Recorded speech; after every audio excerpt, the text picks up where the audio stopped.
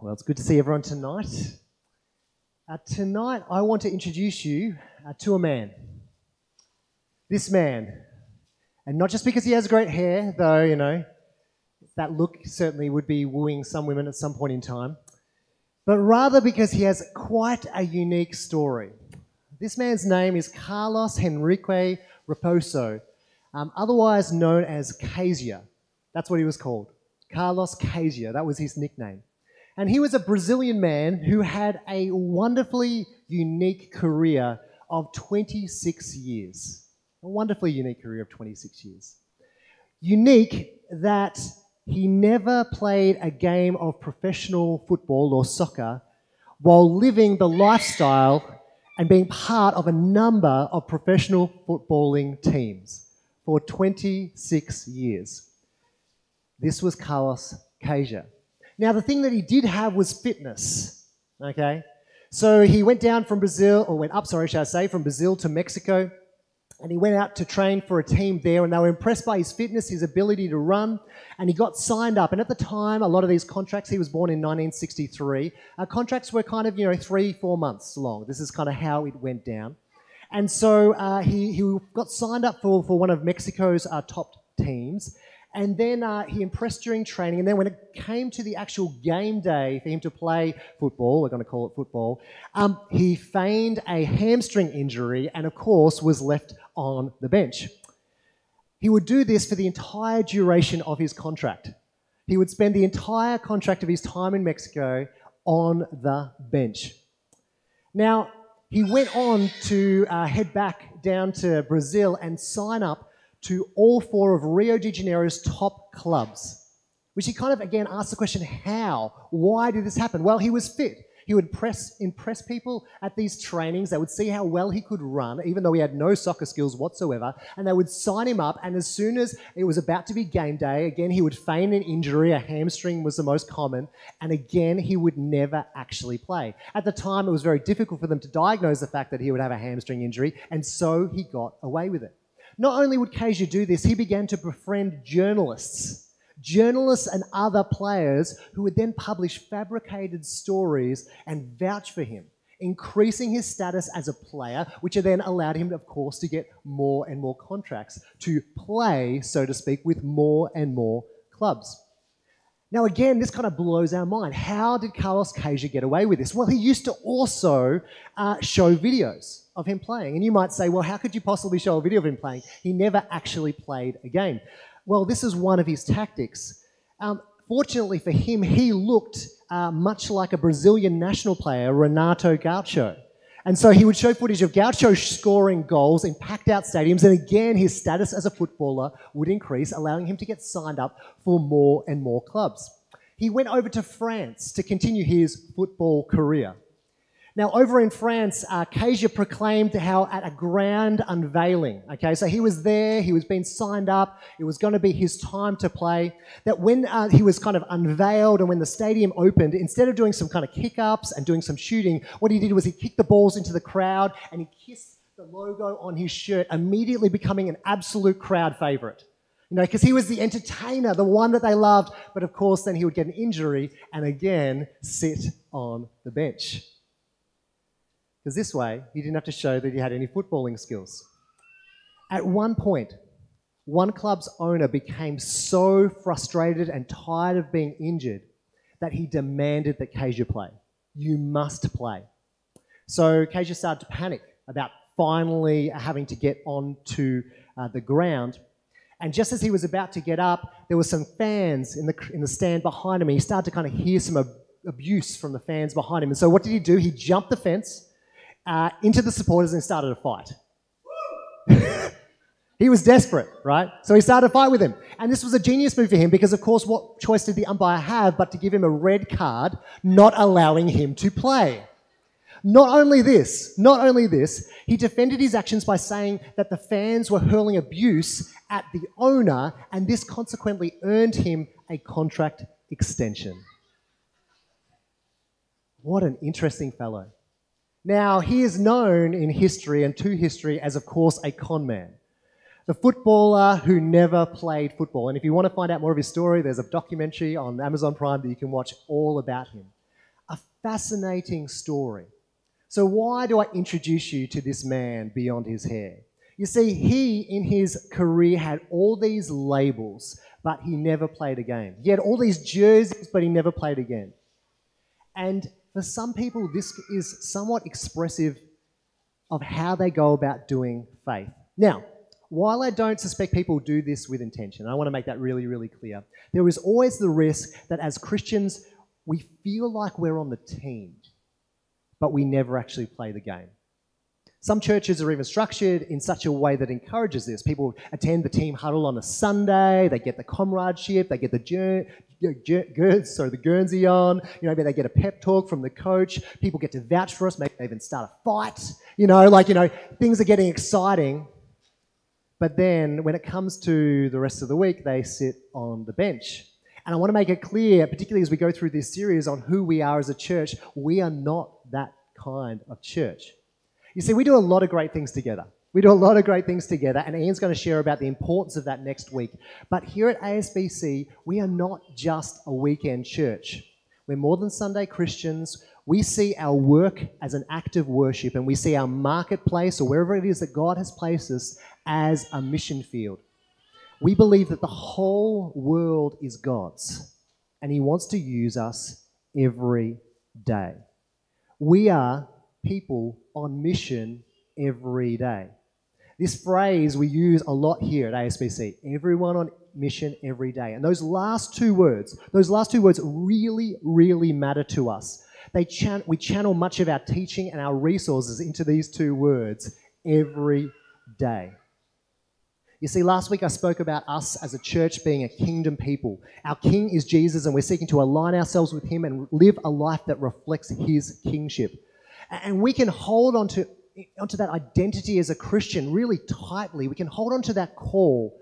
But what does that mean when it comes to Monday, Tuesday, the rest of the week?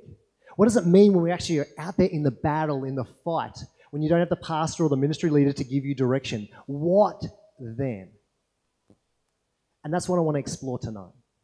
You see, uh, the passage that we're going to be looking at is a famous story of David and Goliath. At least that's how it's often titled. But tonight, I want to give you the heads up we're not going to get to the point where David slays him because I'm far more interested in this story tonight in actually the comparison and the, and the kind of contrast that exists between David and King Saul.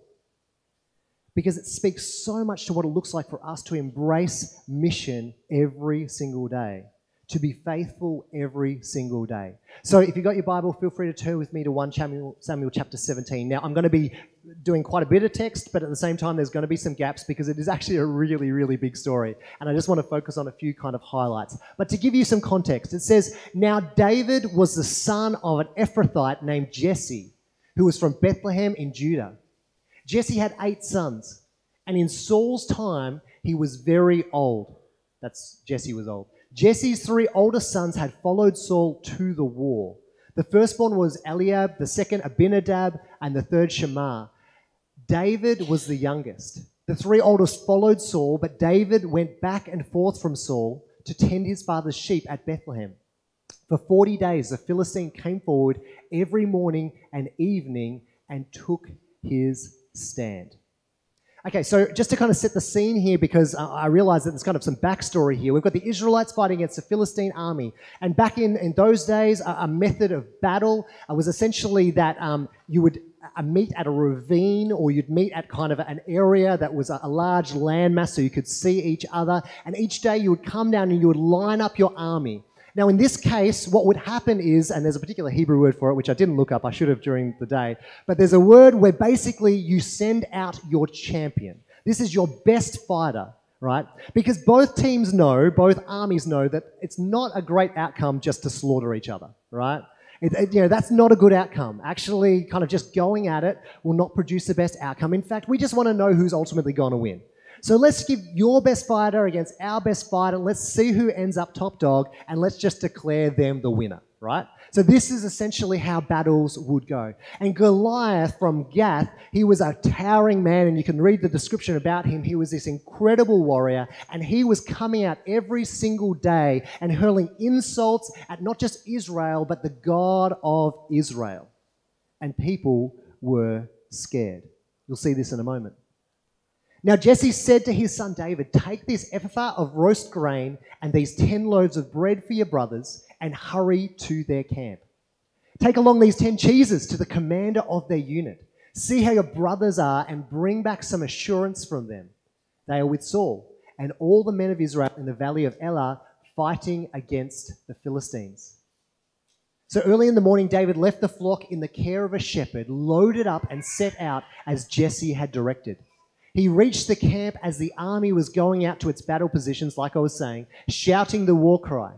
Israel and the Philistines were drawing up their lines facing each other.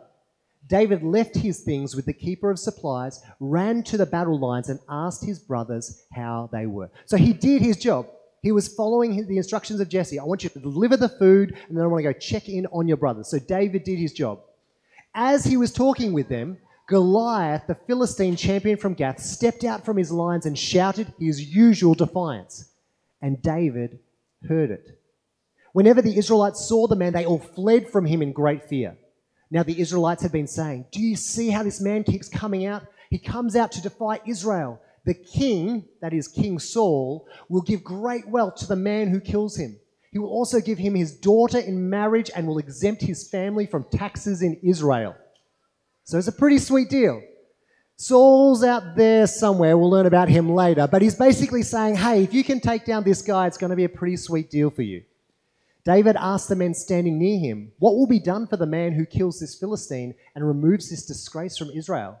Who is this uncircumcised Philistine that he should defy the armies of the living God? What David said a little bit further on was overheard and reported to Saul, and Saul sent for him. David said to Saul, Let no one lose heart on account of this Philistine. Your servant will go and fight him. So just really like fascinating story. We often talk about David and Goliath, and I suppose we kind of picture like David out there kind of doing his thing. But if you actually look at the backstory, what's fascinating is David's only reason for being out there in the battlefield was because he was a cheese delivery system. Bread and cheese. He was taking out bread and cheese to his brothers and finding out how the battle was going. This is why David was there. He wasn't called out there specifically as a warrior. He was called by his father to go and check on the battle, and he brought his cheese, he brought the bread, he brought the ephah of grain, he brought what he needed to do. But then, when he got to that place, that place of the battle, he heard something that disturbed him. And this is a fascinating lesson on what it looks like for us to not be Acacia, and to not just be a Sunday Christian, but to actually understand that all of our life and our faith expression is God's.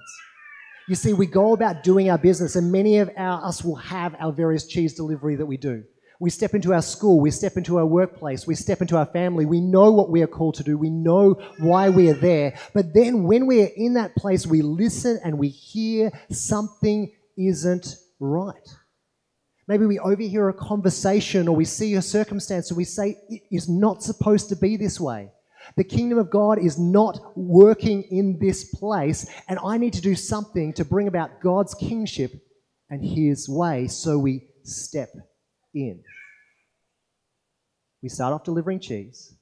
Then we overhear something, a conversation, a need emerges. And the question is in that moment, the question that would have resonated with David in that moment is will we respond? You see, there are organized, uh, official ministries of the church, and we really love those. But the church is people. And when you extend kingdom impact, when you extend kingdom invitation each day, you are being the church, whether it be official or not.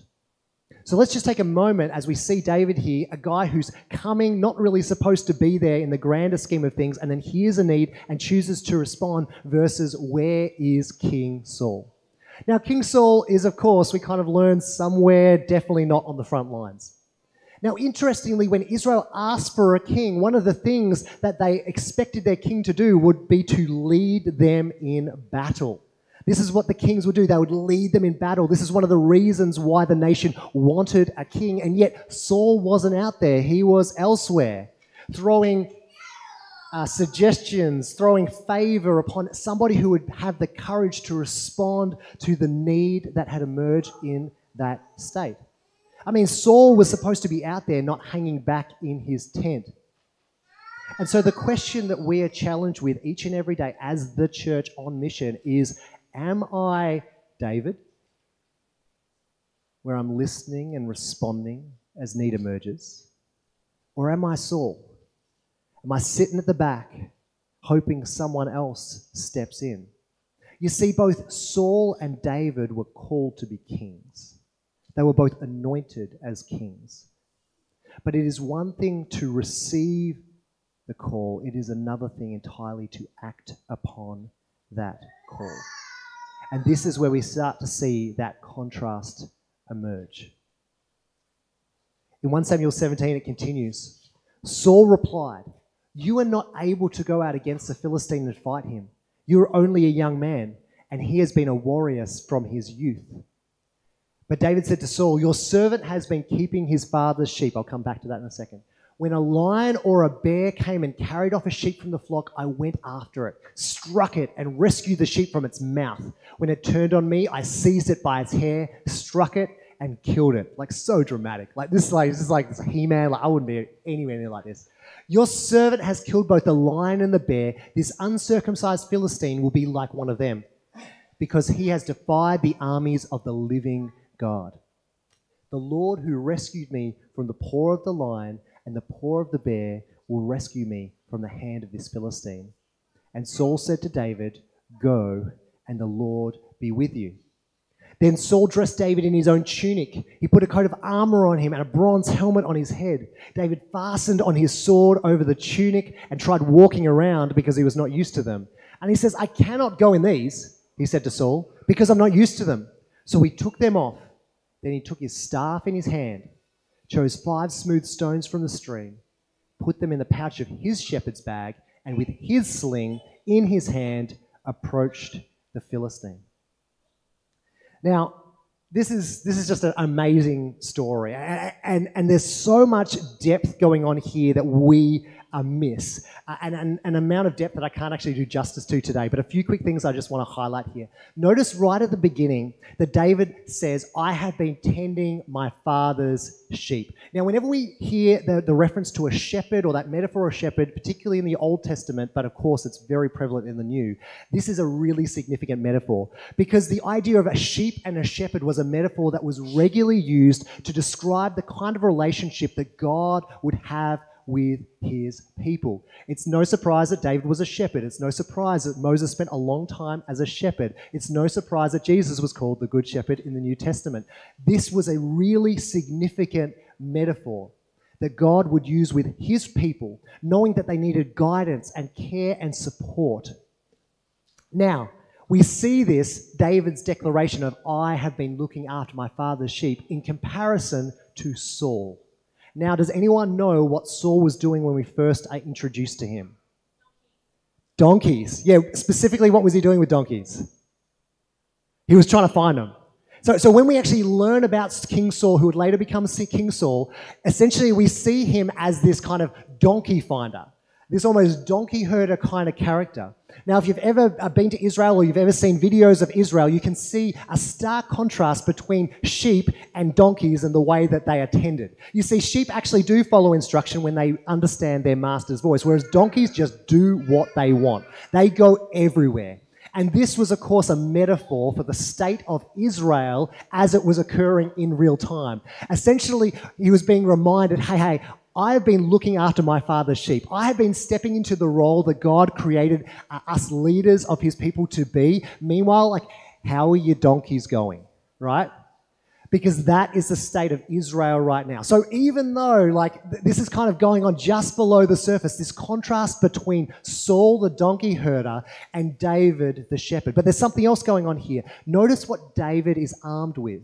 Now, what was David famously armed with? Someone tell me A sling, a sling. Okay, so David's armed with a sling, and you might think a sling, well, that just happens to be the weapon of a shepherd. I've heard that preached before. Yes, that is true, of course, but this is really significant as well when we look at the contrast between David, the one who is taking the call, versus Saul, the one who is still back in the tent.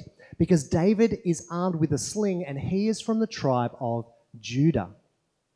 Now, interestingly, the sling was a renowned weapon of a particular clan, the clan of Benjamin.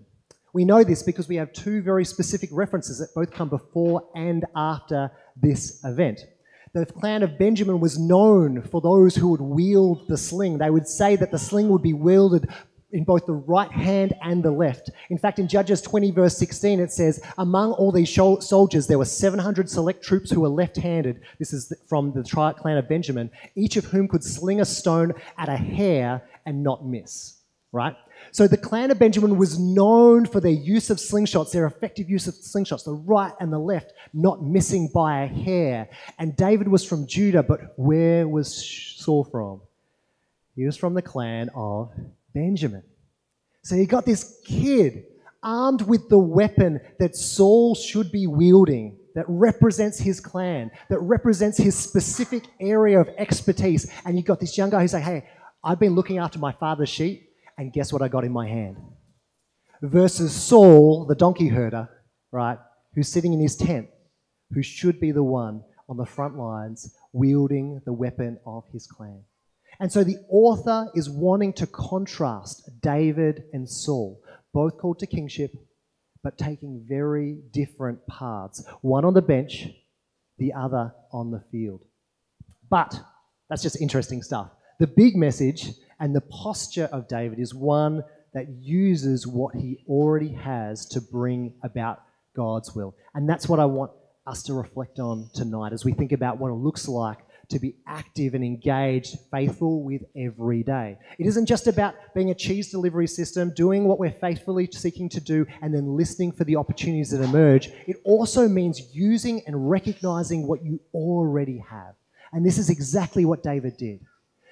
Saul tried to place his armor on David, and he says, This is not going to work for me. This is not what I'm familiar with. This is not common to me. And what does David do? He reflects upon the ways that God has been faithful in his past. He says, Hey, there's been times where I've taken down a lion and a bear, and God has been the one to protect me. And so, what David already has isn't just his clothes and his sling and his tools, he also carries a story of God's faithfulness. And so he reaches into this story just as he reaches to grab his tools and he says, God has given me exactly what I need to be the antidote to what I am seeing here. So, what about you, Saul? yeah? This is significant. Because here at ASBC, I see this in so many different ways across the week, and it is beautiful. I see people using what they have already and using it faithfully to honor God. Not only through workplace mission, though so many people do that. They say, you know what, God has equipped me with this knowledge and these skills, and I'm going to faithfully honor God with this each and every day. You are on mission every day. But also, there are people who, who, dig deep into things that, that, that are beyond that. They go, I'm a great cook. See, I'll discover these things later. Somebody will be unwell, and a whole bunch of meals will have just gone to them through the life of the church. I don't even find out they're sick yet. This is like after the fact. It's like not only are they sick, I'm like, oh, I feel bad about not knowing that, but also the church has already responded because a whole bunch of people who already are good at cooking already produced meals and already got them to them. It's amazing, you know. If you were to give me a, a set of Scampan and whatever I needed to cook, that would not be good for me. This does not suit me. I'd rather use my stuff, right? So, but people who have these skills, they go about and they just do it. They hear a need and they respond. There are people who are incredibly skilled in hospitality. That's what they do. And so when they find themselves in a situation where people are feeling nervous or anxious or need an environment where they can find peace, they craft this environment either at a workplace through what they place around the staff room or maybe even in a business where they set up a space where someone can feel at peace. And it's going beyond the job. It's saying, I've got something that I can offer here. It might be that somebody has special knowledge, legal knowledge, or something like that, or technical knowledge, right? And somebody is in need and it's not part of their job description, but they are going about their business and encountering a person. And they say, you know what? I've actually got some knowledge in this area. I can offer something here. And I don't need the pastor to tell me to do it. I don't need to start a church ministry. I can just go ahead and do it because God has already equipped me with it. And even last week, I loved just that little story of, you know, all those boys in the rain because of bucketing down, just grabbing some towels and saying, hey, as a church, we've got towels. but it takes someone to get the towels to them, to see the need, to be on their way to church delivering cheese, right? And then to hear and say, something is not right about this situation. What can we do? You see, we are faithful with each day. We're faithful with what we are called to do in the everyday, but we also listen, just as David did. And we position ourselves to be responsive, not just to be in the 10. And we ask the question God, what have you already given me that could be used in this circumstance? I want to focus just on this image for a moment. We've already read it 1 Samuel 17:40. As he approaches the Philistine, he took his staff in his hand, chose five smooth stones from the stream, and put them in the pouch of his shepherd's bag. I just love this image. I love this idea of going, hey, I know that there is a need. I know I need to respond, respond and, and I want to be prepared. I want to take stock of what I have to offer. You know, each week, each week, as we enter the week, we, we essentially we choose our stones. we go, you know what? I'm going to be stepping into an environment. I'm going to be stepping into a battle of sorts. And that battle can take many, many different forms. But, but we, we, we get together and we choose our stones and we say, hey, God, what have you equipped me with? And each day we pray and we say, God, how are you going to use me today? Holy Spirit, where do you need to direct my attention? What are you going to bring to my attention that I otherwise will have missed? And I love uh, a phrase that I heard from a podcast I listened to recently. Uh, it was said, the stone would have been no good if it were left in the stream. It had to be picked up by David. It had to be used. And people can debate did he need five stones? Did he need one stone? I like the idea that he picked up five stones. He was ready, he was prepared for the battle. And this is what we do as a church. We take that which we have, we prepare ourselves, and through little acts of love in all kinds of places, we seek to bring about kingdom impact. There's always a temptation, and we know right here in Alice right now there's a lot of tension and anxiety. And if you're feeling like right now, please, I'd love to pray with you. We would love to pray with you. That's, that's real, and we get that. But whenever there is tension and anxiety, there is always a temptation to pull back, to retreat to the tent, right? That's a temptation, and, and all of us are susceptible to that, including myself. Can I encourage us as a church to be like David? To step in, to listen with greater care, to take up our rocks and place them in our bag, recognizing that we have something that God has already given us to offer. This is missional living at the core. And again, it comes with practice. David says, I have taken down the lion and the bear. It takes time and practice to understand that being a Christian, following Jesus, is more than just a label, more than just attendance, more than just being a Kaiser.